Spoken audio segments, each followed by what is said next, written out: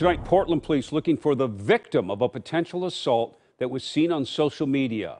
That man waving the stick. The suspect is arrested, though, in a tense situation in northwest Portland. We sent our Elise Haas to dig deeper. And I know, Elise, this is a very complex situation. What did you uncover here?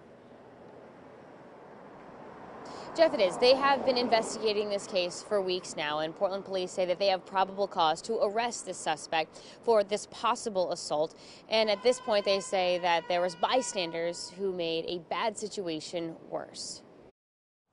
On Sunday, police arrested this man who they believe is seen swinging this wooden pole at another person in this video from July in northwest Portland. They learned that the suspect um, was uh, generating a lot of calls for service in that area, a lot of concerning behavior where he was swinging things at people, threatening people, had pipes and sticks and things like that. Sergeant Kevin Allen says Portland police have tracked around 10 calls that they think are associated with him in the last couple of months. One of the things that we've tried to do over the years is to slow things down, use time as a tactic, use our communication skills. When officers tried to arrest him on Sunday, Sergeant Allen says Banks became hostile, picking up a broken wooden shovel as a weapon. Police spent an hour trying to de escalate, using friends and his probation officer to talk him down.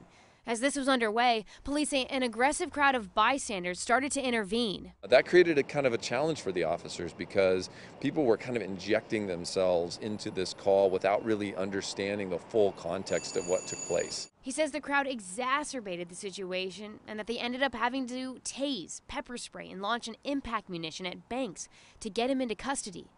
According to court records, the 53 year old has a lengthy criminal history, including prison time, and has been homeless now for the past year and a half. He reports having post traumatic stress disorder and using drugs.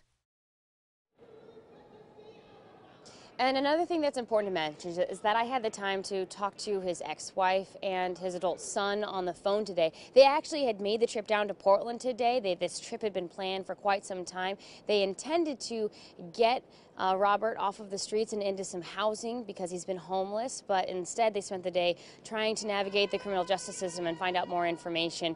Uh, they were very shocked and upset to learn about his aggressive and criminal behavior. They had no idea, um, but they gave me some more context. Uh, she told me that they had been divorced for decades and that he ended up getting into prison for about 15 or more years. She says ever since then, he has had trouble reintegrating into society. Jeff.